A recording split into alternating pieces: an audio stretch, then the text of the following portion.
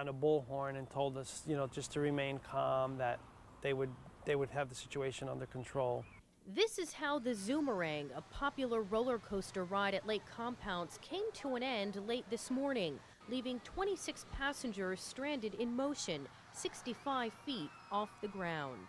We were going teetering until finally the ride just came to a stop and some of us were almost upside down. I was probably at like a 90 degree angle. For nearly two hours, chaperone Bill Calavine and fear stricken students from the High Horizon School in Bridgeport were simply left hanging.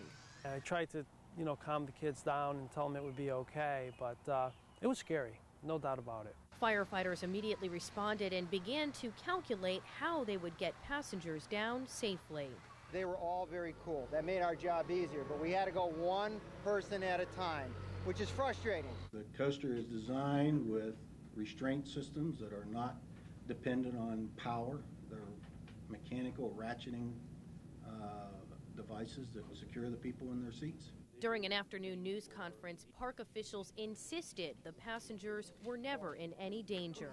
Guest safety was never an issue today with this ride. When you're hanging up there for an hour and 40 minutes, 65 feet above the ground, you don't feel safe. Today's latest incident comes just one day after Wilfredo Martinez, a park employee, was killed as he was checking the Boulder Dash roller coaster. Our hearts, our prayers, our condolences go out to his family.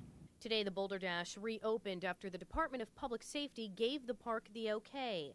As for the Zoomerang, that ride was inspected today, as it is every day. Yet park officials say it's impossible to predict when a ride will just stop dead in its tracks.